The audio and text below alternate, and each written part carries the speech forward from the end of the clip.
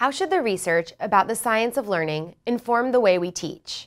How do we help students learn the most important skills and knowledge we hope they leave our classrooms possessing and able to use?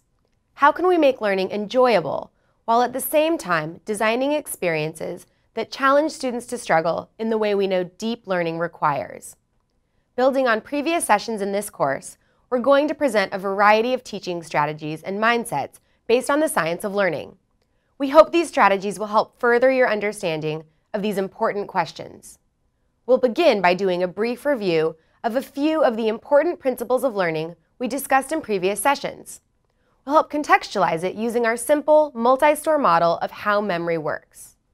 One of the key ideas we discussed is that to make memories that stick, our students need to think to learn. This is a truism of learning. Students remember what they've been thinking about. As the cognitive scientist Daniel Willingham says, memory is the residue of thought. In terms of our memory model, this means creating a dialogue between working memory and long-term memory. The more we get students to cognitively process what it is we want them to learn, especially if we spread out the learning over time, the more likely they'll be able to recall and use it later.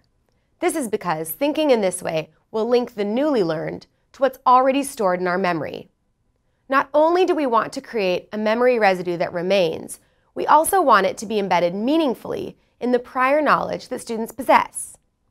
As teachers, we help advance learning by what we have the students do to learn. This also means that learning shouldn't be too easy, as much as we'd like to make it so. Struggle and even confusion are important for making lasting memories.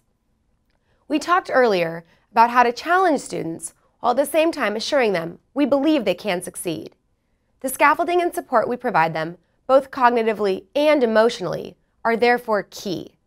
We also emphasized that an important mindset for student success is believing they can increase their ability with effort and hard work.